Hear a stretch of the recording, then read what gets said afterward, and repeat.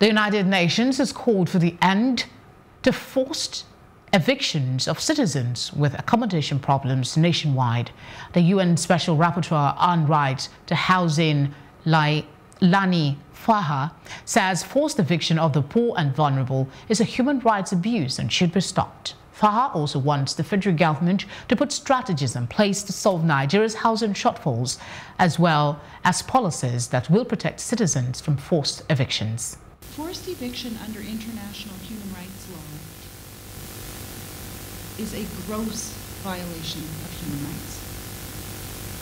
Period. It should never be undertaken.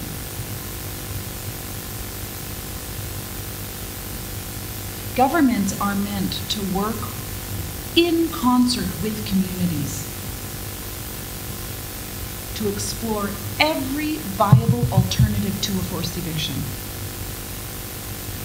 Only if it's determined with the consent of the community that the location where the community is living is a threat to life or an extreme threat to health can a forced eviction occur.